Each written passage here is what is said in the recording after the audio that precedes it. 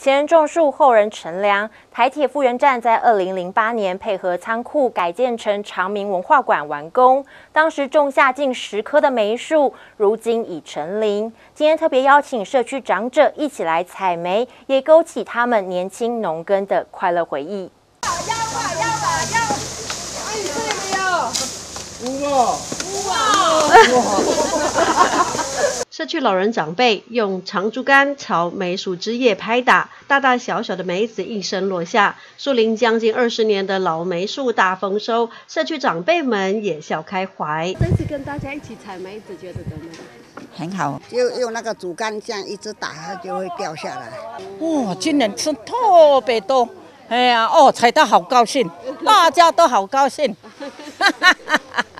老人长辈辛苦采梅，但也乐得开心。好奇的是，铁路车站旁怎会有梅子树林？复原社区发展协会理事长周玉梅说：“二零零八年，社区重新活化台铁复原站老旧仓库，改建成现在的长明文物馆。而当时台铁配合文物馆，也附庸风雅地在周边种下了近十棵的梅子树。而如今梅树不但早已成林，今年更是结实累累。因也特别请社区长辈们一起来采梅，体验也回味年轻时采梅子的乐趣。虽然有一些行动不便的阿嬷没有办法采，但是我们就是直接疏枝，然后接下来让阿嬷也可以采梅子，就是呃。